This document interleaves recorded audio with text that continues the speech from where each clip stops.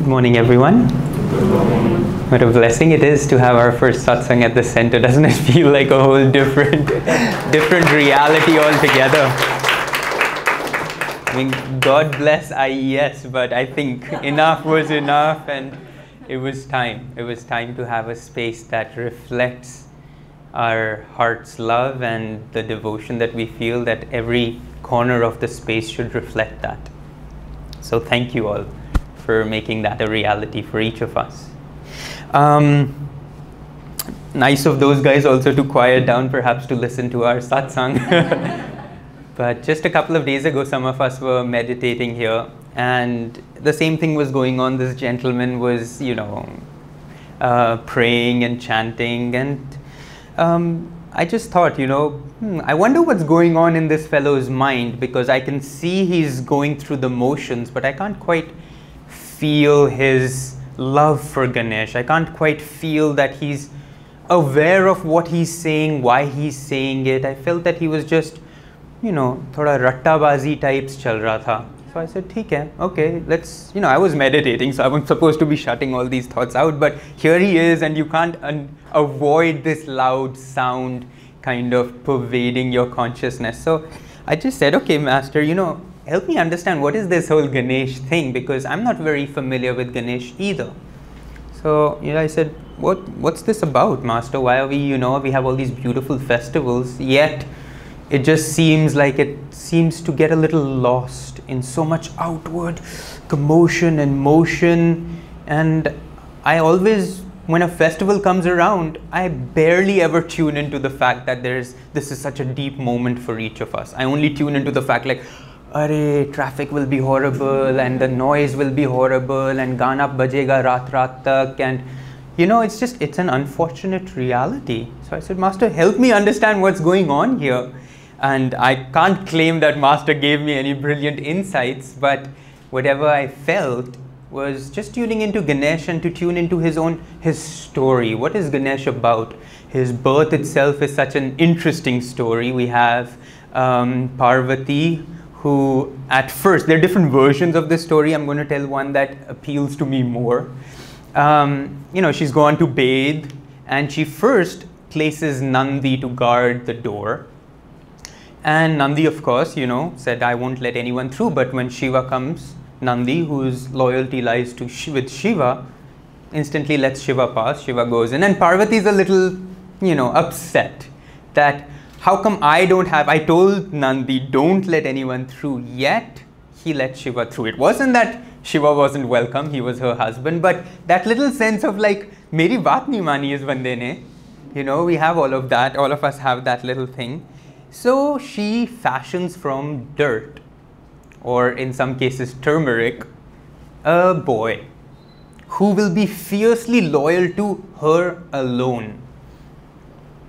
And this boy now is set to guard the door. Now Shiva comes along again. Now the boy doesn't know who Shiva is. So naturally he says, Thamja, you know, I'm not going to let you pass beyond. My mother is bathing in there and she's asked me not to let anyone through. So Shiva, you know, doesn't take much to set him off sometimes. So we all know Shiva decapitates the boy's head. Now when Parvati comes along, she's upset and Shiva realizes he made a little bit of a mistake. So he sends his uh, troop down on earth and says, find me the first living creature, bring me the head of the first living creature who's, who is facing north. That's the particular advice he gives. So they go, they find here's an elephant, get the elephant's head, and now voila, Ganesh that we know and we love. Now, what we know from our own esoteric and yogic teachings is Ganesh represents, he's the deity of the first chakra. So he's essentially, and he's known as the Lord of new beginnings remover of obstacles and wisdom and intelligence. So he's got quite a lot going for him. You know, he's not just this one guy, he does a lot of stuff. So he's the first chakra. He's the deity of the first chakra. Now, when Devi Parvati, who represents the Kundalini energy, represents the manifested Shakti of the divine, wants someone who's fiercely loyal only to manifestation to creation, he does not recognize Shiva. He does not recognize the Lord. He's so loyal only to this created world. So Shiva says, That won't do. That's not how it's going to work for us. And when Shiva says, Go find somebody whose face is turning northward, now north in our body is up here, south is down here, east and west. So Shiva said, I need somebody who's not only loyal to the energy of this world, to Devi, to Shakti, but who is always pointing, who's aware of where the energy is actually going. Now, if we want to get to Devi, we have to get past the first chakra. That's our first main obstacle on the way to awakening the Devi Shakti within us. But most of us are so loyal to this Devi Shakti in its manifested form I want this from life, I want that. My desires, unfortunately, aren't Godward. Most of my desires are matter bound. And that loyalty to the Devi, if indeed we want God, we have to destroy and find that aspect in us that while it is on this earth is facing Godward. For me, Ganesh represents practical spirituality. Hence the little reading on practicality. Ganesh is not this, mm-hmm, ah. he's very much rooted to Devi, he's very much rooted to this prakritic nature. The very name Ganesh, Ganpati, means Lord of the masses He's Lord of everyone, of the masses, of the atoms, of the manifested creation. But when he gets too caught up in his own realities, when he gets caught up here, then he gets decapitated. Then those realities don't work. So, for Ganesh to be really understood, he needs to have that rooted practicality, yet we need to make sure that everything we do is turned Godward. For us, the first chakra, according to Master, represents the yamas. And look at the yamas. It's non lying, non greed, non attachment, non sensuality. It's an interesting thing, the non word.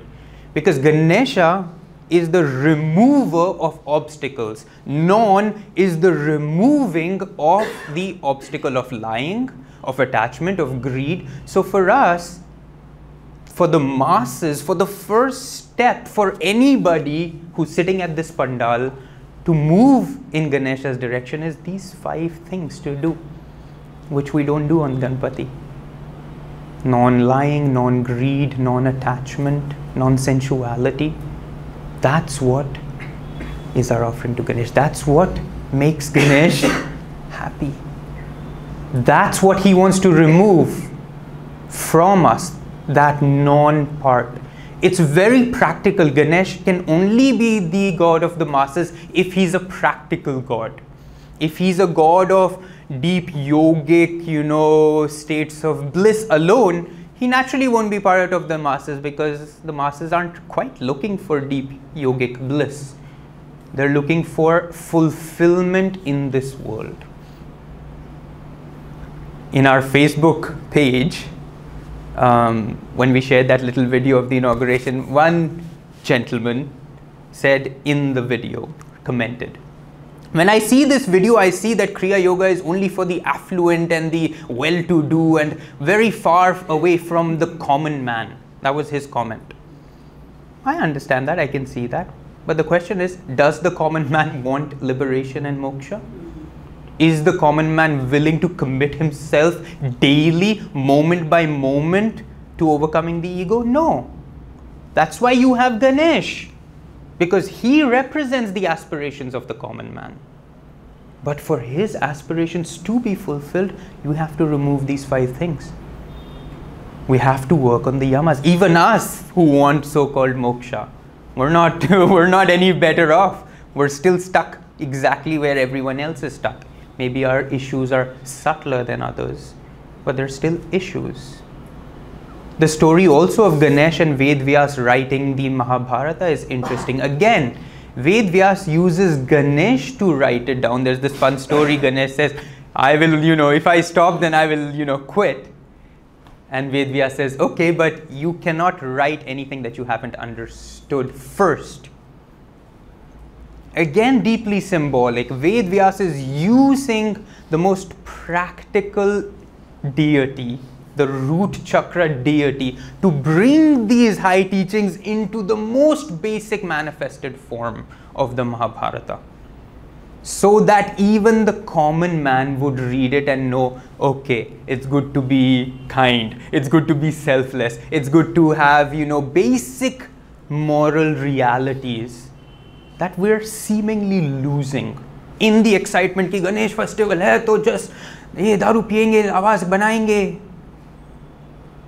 you know it's just it's a sad moment in one sense but it's an opportunity to reawaken these truths and say whoa wait a minute ganesh is step one if i can't get this right कुछ नहीं होने वाला है ये बैठो क्रिया योगा में भी बैठो कुछ भी करो if you don't get step one right what's going to happen if you can't please ganesh you cannot move forward so today is the last day हमारे दस दिन तो छूट गए पर ऐसा नहीं है कि छूट गए today we offer Lord Ganesh back in to the infinite विसर्जन हो जाता ही dissolve back for a few days he took form in our lives But fortunately for us, we know none of these realities are far from us. All we must do is attune to them, and they become very much real in our day to day life. So let's tune into them in a real sense. Let's not worry about the traffic today or the noise today. Let's say, okay, Ganesh, how can today I make sure I practice my spirituality practically? Let me please you today by doing that which you represent. Thank you.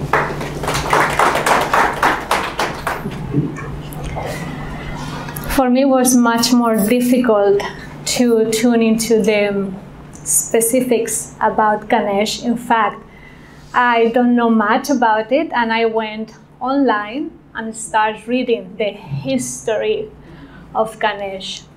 At some point, I told Shurjo, I can't go through this. It's too much for me to understand too many difficult names, too many different stories. I mean, I cannot make a satsang of Ganesh because I just don't know even really what is the real story behind it. It's a little bit complicated for me, for my brain. I'm not created to understand certain things in a specific intellectual way. Thank you for that explanation. That was wonderful. But what I deeply believe and what I, my way to understand the deities, everything's okay? Yeah. My way to understand deities is that they carry a specific vibration in a specific time at a specific moment of our lives that we can use that energy that they bring and make a big shift in our consciousness, first of all, and in our lives. So, right now, what is happening is that there is a very auspicious time spiritually for each one of us to use what Ganesha represents energetically, which is remover of obstacles and use that power to remove from our life whatever we think is preventing us from going closer to the light, to the divine, to our highest potential, to, to God, however you want to call it. But if is there anything in our lives that we know, we know there is still a little something that it's so difficult to remove, let's do it today. Let's use this light day, last day to make the change.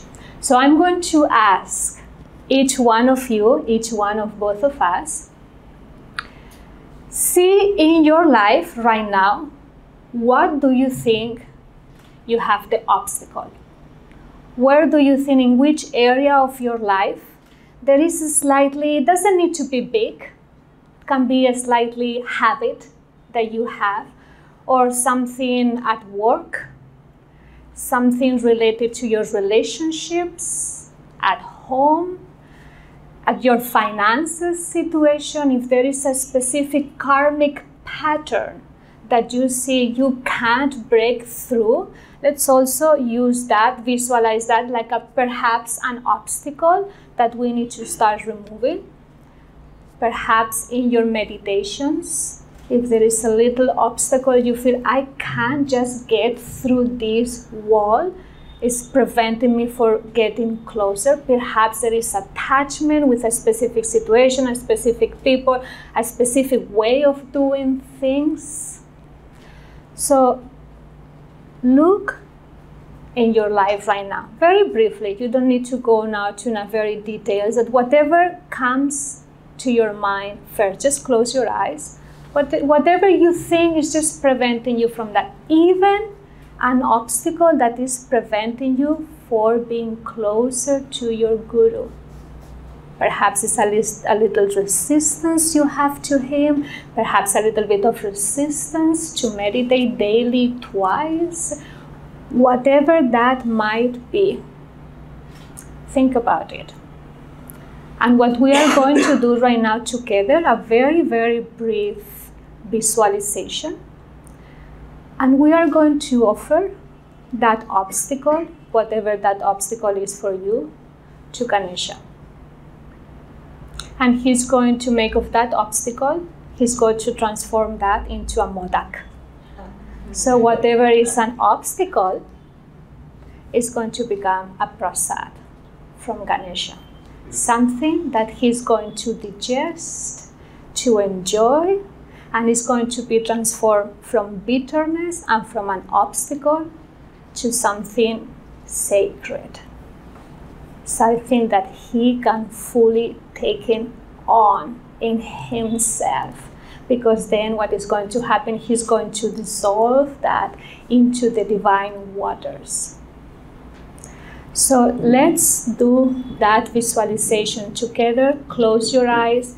Please Let's make these five minutes powerful when we leave this satsang uplifted, changed, transformed, where that obstacle is completely gone from our lives.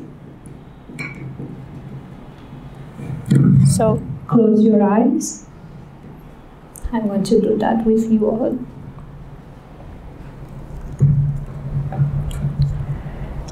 try to visualize that obstacle, that person, that situation, that resistance. Start seeing that karmic pattern being removed, being released. More understanding comes into that situation. visualize rays of light coming into that situation, removing that obstacle. Visualize yourself also being lifted up, your consciousness being uplifted. And visualize yourself. How does it feel to be free from that?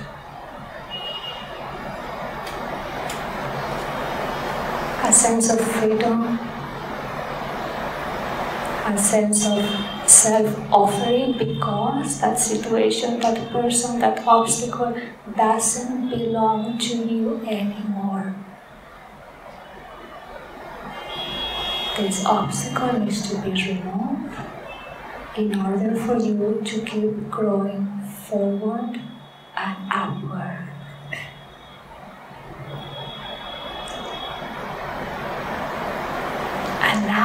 Even deeper to our astral body, where our emotional body is, our emotions, attachments, fears, and make sure that we bring Ganesh's energy into our emotional field just to make sure that the obstacle gets also removed from our astral body.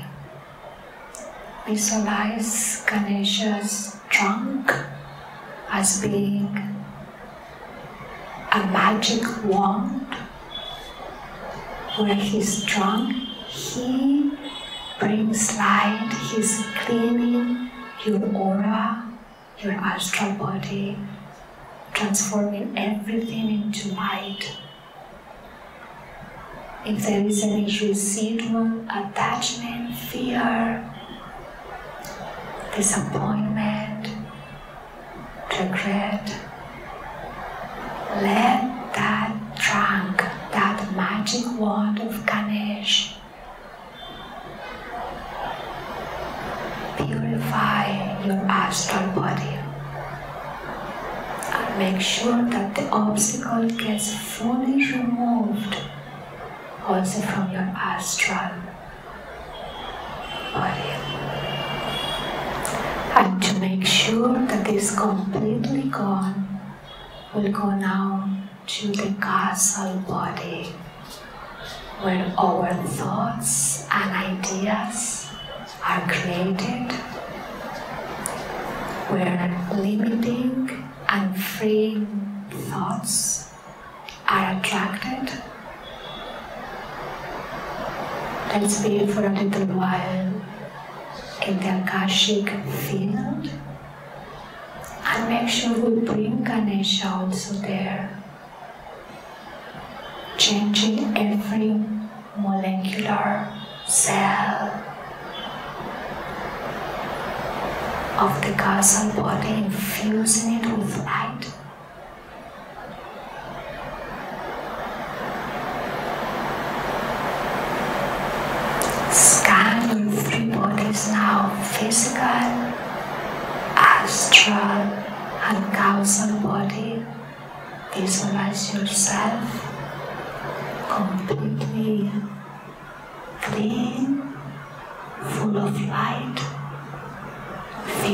Ready to move forward, lighter,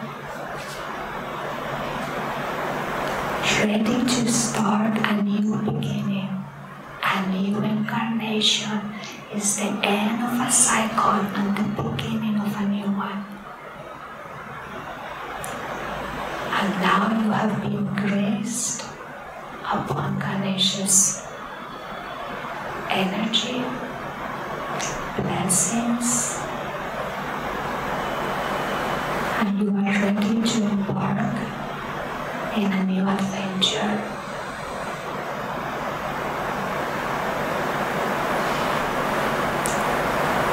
To finalize, make sure all that energy that has been moved, relieved, released, unblocked bring all that energy up, concentrated at the spiritual eye. Visualize Ganesha there at the point between the eyebrows. And he, with humility, with gratitude, offer all that to him. So he